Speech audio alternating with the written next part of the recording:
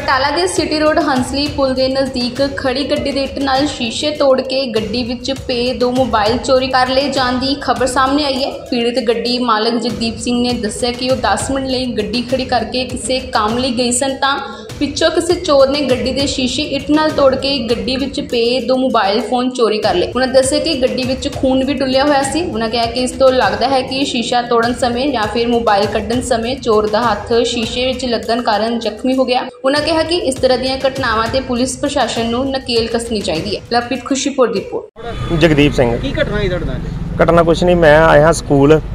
ਤੇ ਮੁੰਡਾ ਕੰਮ ਕਰਦਾ ਮੇਰੇ ਕੋਲ ਤੇ ਮੈਂ ਉਹਨਾਂ ਦੇ ਸਕੂਲ ਆਇਆ ਤੇ ਮੇਰੇ ਆਂਦਿਆਂ ਨੂੰ ਇੱਥੋਂ ਇਹ ਇੱਟ ਮਾਰ ਕੇ ਸ਼ੀਸ਼ਾ ਤੋੜ ਕੇ ਤੇ ਦੋ ਮੋਬਾਈਲ ਕੱਢ ਕੇ ਲੈ ਗਏ ਨੇ। ਹੋਰ ਕੀ ਕੀ ਗਿਆ ਵਾ? ਉਹਦੇ ਵਿੱਚ ਮੋਬਾਈਲ ਦੇ ਕਵਰ ਦੇ ਵਿੱਚ ਇੱਕ ਏਟੀਐਮ ਕਾਰਡ ਤੇ ਇੱਕ ਕ੍ਰੈਡਿਟ ਕਾਰਡ ਸੀ।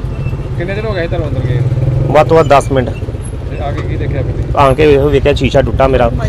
ਤੇ ਫਿਰ ਦੂਸਰੀ ਗੱਲ ਆ ਬਲੱਡ ਨਾਲ ਗੱਡੀ ਭਰੀ ਹੈ ਖੂਨ ਨਾਲ ਤੇ ਆਣ ਕੇ ਫਿਰ ਫੋਨ ਕੀਤਾ।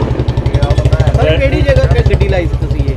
ਇਹ ਅੰਦਰਲਾ ਹਸਣੀ ਦਾ ਪੁੱਲ ਕੰਪਲੇਂਟ ਕਰਨਾ ਕਿਤੇ ਪੁਲਿਸ ਨੂੰ ਹਾਂਜੀ। ਕੰਪਲੇਂਟ ਕੀਤੀ ਹੈ ਪੁਲਿਸ ਨਹੀਂ ਅਜੇ ਕੀਤੀ ਨਹੀਂ ਆ। ਅਜੇ ਕਰਨਾ ਹੀ ਆ। ਕੀ ਮੰਗ ਕਰਦੇ ਹੋ ਚੱਲ ਪ੍ਰਸ਼ਾਸਨ ਨੂੰ ਇਹ ਮੰਗ ਕਰਦੇ ਆ ਕਿ ਇਹ ਜਿਹੜਾ ਇਹਦੇ ਨਾਲ ਘਟਨਾ ਹੁੰਦੀ ਆ ਅੱਜ ਮੇਰੇ ਨਾਲ ਹੋਈ ਆ ਕੱਲ ਹੋਰ ਕਿਸੇ ਨਾਲ ਨਾ ਹੋਵੇ। ਤੇ ਇੱਥੇ ਚਾਹੀਦਾ ਕਿ ਹਾਂ ਵੀ ਉੱਥੇ ਟ੍ਰੈਫਿਕ ਵਾਲੇ ਖਲੋਤੇ ਨੇ ਤੇ ਪਿੱਛੋਂ ਤੱਕ ਵੀ ਝਾਕੀ ਮਾਰਨ।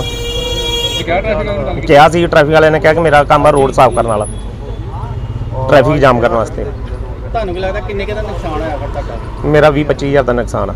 ਸਰ ਕਾਹਦੇ ਨਾਲ ਤੋੜਿਆ ਗਿਆ ਸ਼ੀਸ਼ਾ ਇਹ? ਇੱਟ ਨਾ ਉਹ ਤੇ ਬਲੱਡ ਦੇ ਵੀ ਨਿਸ਼ਾਨ ਹੈਗੇ ਉਹਦੇ ਬਲੱਡ ਜਦੋਂ ਸ਼ੀਸ਼ਾ ਕੱਢਣ ਲੱਗਾ ਫੋਨ ਕੱਢਣ ਲੱਗਾ ਕਿਤੇ ਉਦੋਂ ਕੱਚ ਵੱਜ ਗਿਆ ਕਿਤੇ ਉਹਦੇ हमारे कोचिंग इंस्टीट्यूट में both schooling and coaching facility को लेंगे उनको कोई भी एक्स्ट्रा ट्यूशन या कोचिंग लेने की जरूरत नहीं पड़ेगी उनका समय और उनका पैसा दोनों हमारे साथ एडमिशन लेने पे बच सकता है